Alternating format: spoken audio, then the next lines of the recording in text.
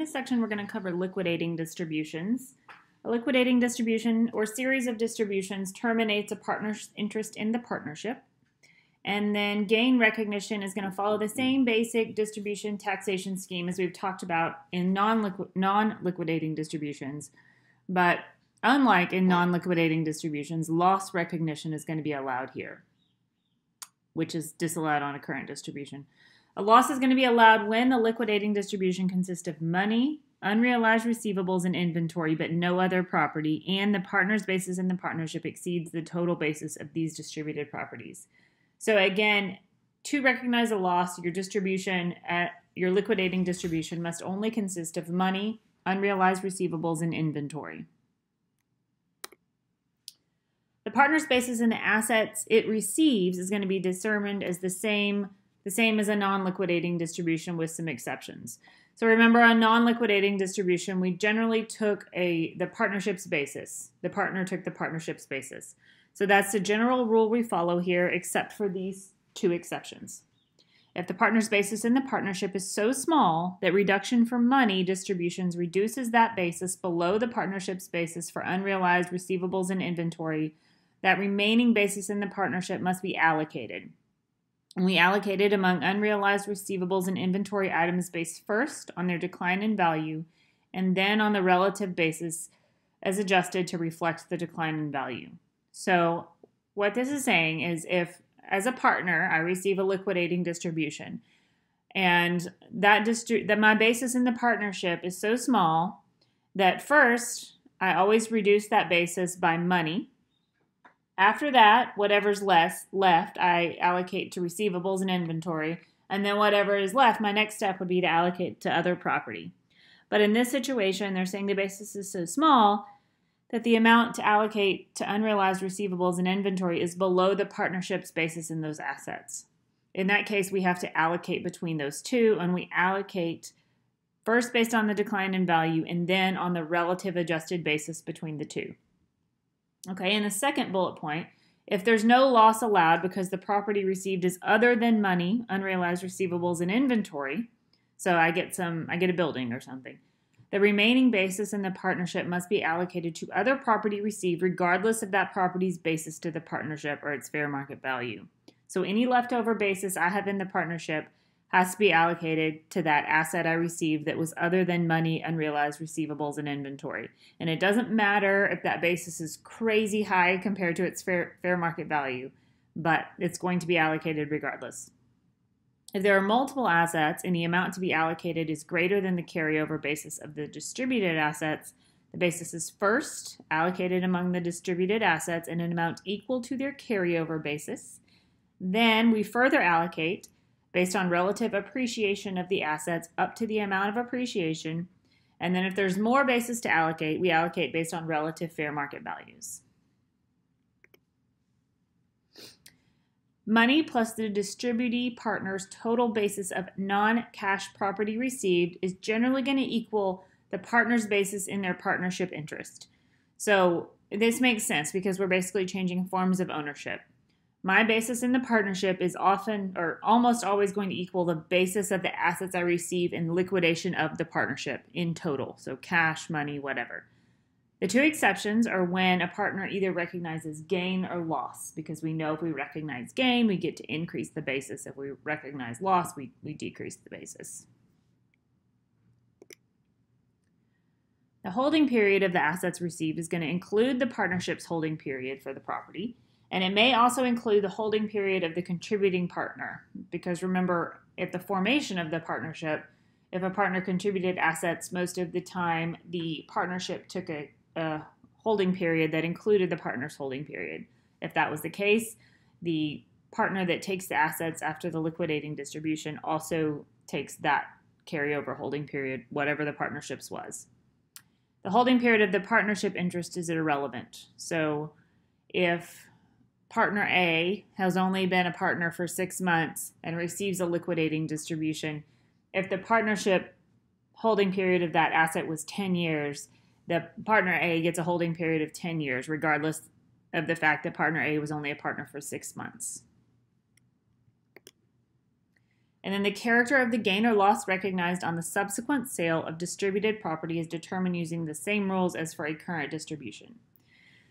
So remember back to our current distribution, if we were if we were distributed assets like inventory or unrealized receivables and we later sold those, there are some rules that make that income usually ordinary income, right? So inventory within 5 years, unrealized receivables, ordinary income to the partner that received that distribution. Otherwise, it's generally a capital gain or loss.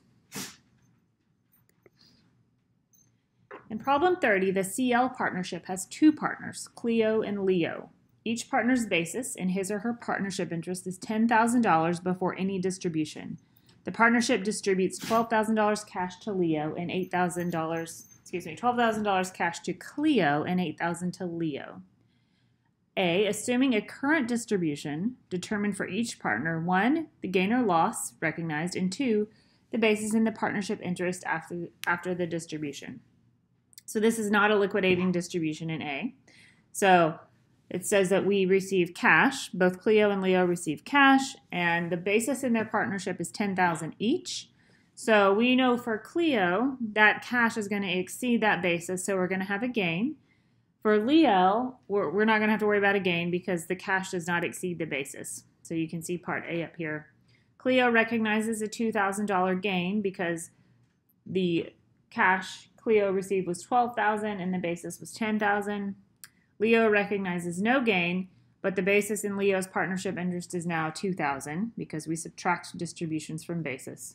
And back to Cleo, Cleo's basis is zero. B, assuming it's a liquidating distribution now, determine each partner's gain or loss recognized. All right, so now these, these partners will no longer be partners. So in part B for Cleo, we have a $2,000 gain. Again, Cleo received $12,000 cash. The basis was $10,000. That results in a gain. But Leo has a loss now because remember, Leo's basis in the partnership was $10,000, and Leo only received $8,000 in complete liquidation of that interest. So that is a loss. And Leo is allowed to recognize the loss because only cash was distributed.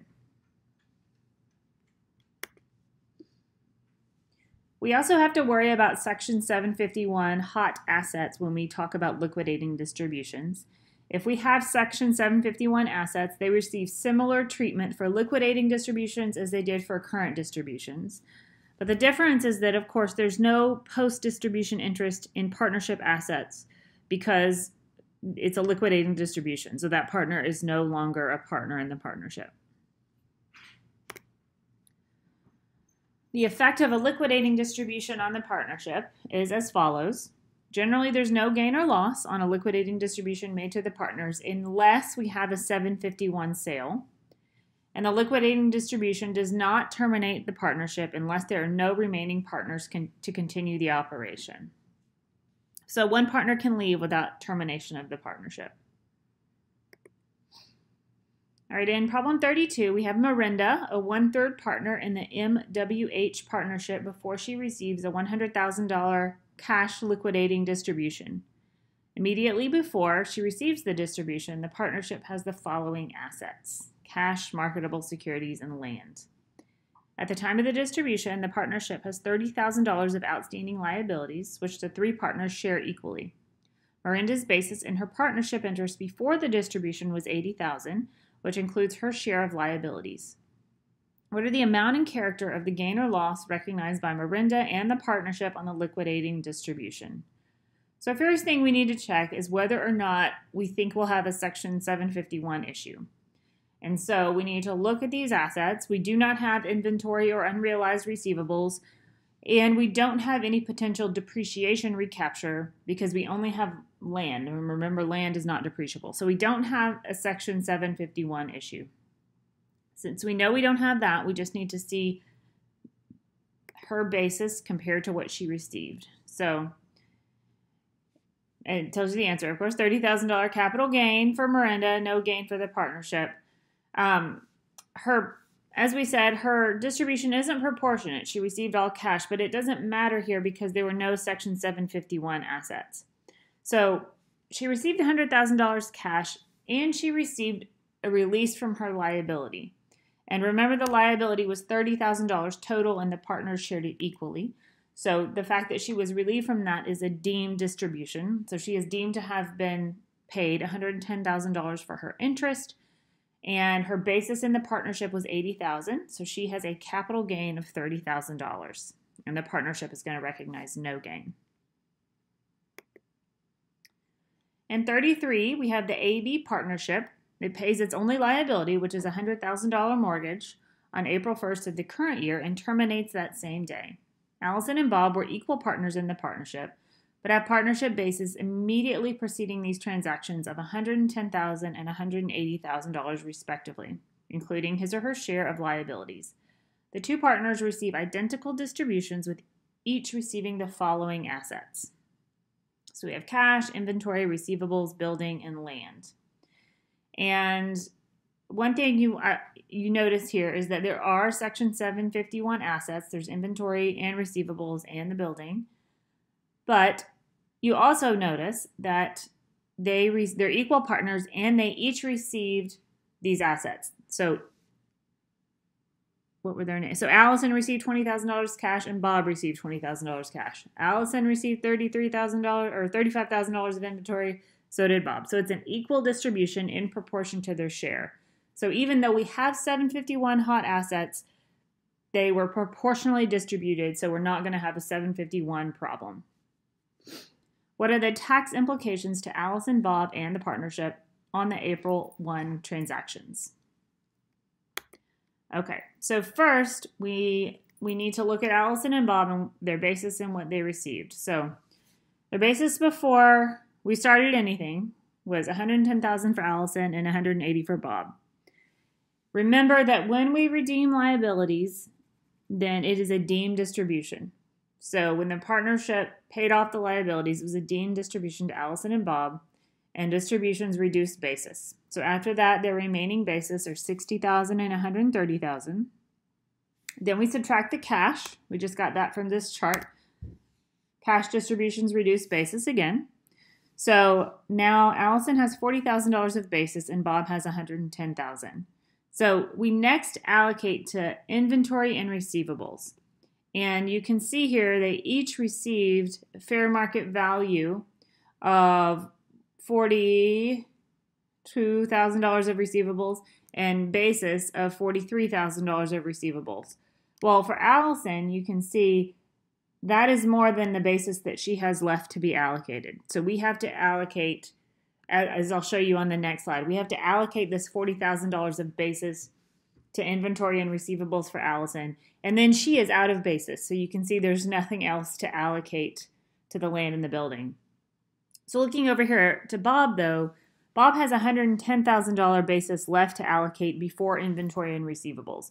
So we allocate to Bob the partnership's basis in the inventory and receivables, so 33,000 and 10,000.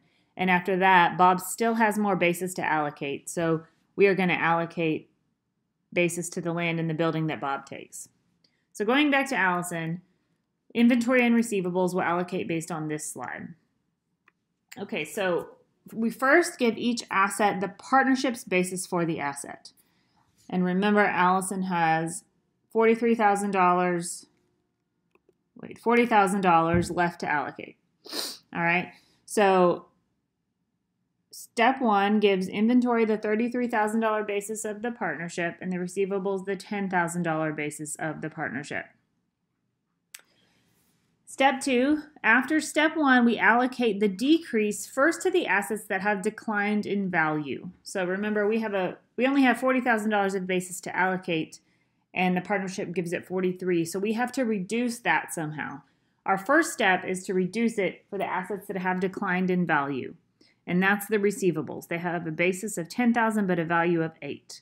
So, of that $3,000 decline we have to allocate, we start by allocating the 2,000 of it to the receivables. So now we have the receivables with an $8,000 basis and inventory with a $33,000 basis.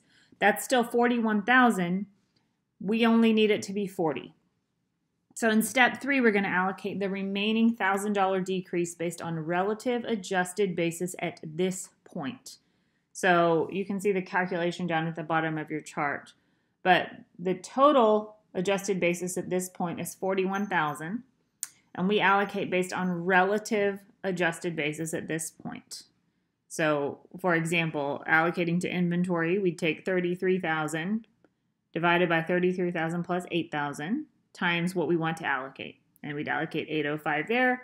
For receivables, we would take 8,000 divided by 33,000 plus 8,000 times 1,000, which would give us 195.